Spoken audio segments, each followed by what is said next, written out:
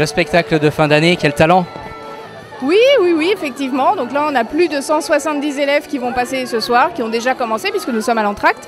Les professeurs ont présenté des projets avec leur classe euh, un peu particuliers. C'est l'esprit un peu comique, un peu. euh, euh, on rigole, c'est la fin de l'année. Du décalage Décalé, complètement décalé. Voilà. On a en plus un coup de main au niveau des vidéos avec un élève qui s'appelle Gauthier Dillerin et qui est dans une école d'audiovisuel et qui nous a fait des clips. Tout le savoir-faire de l'école de musique euh, qui, ne cesse de progresser d'année en année et puis surtout euh, de plus en plus euh, d'élèves.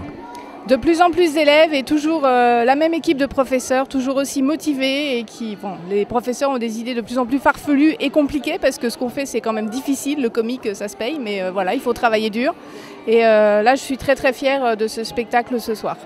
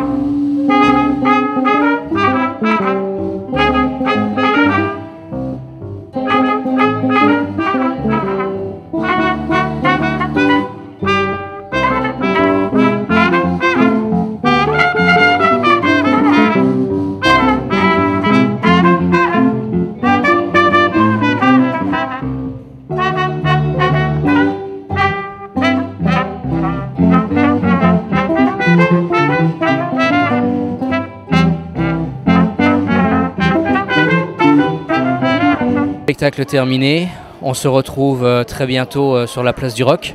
Voilà, le samedi 5 juillet 21h, les estivales avec une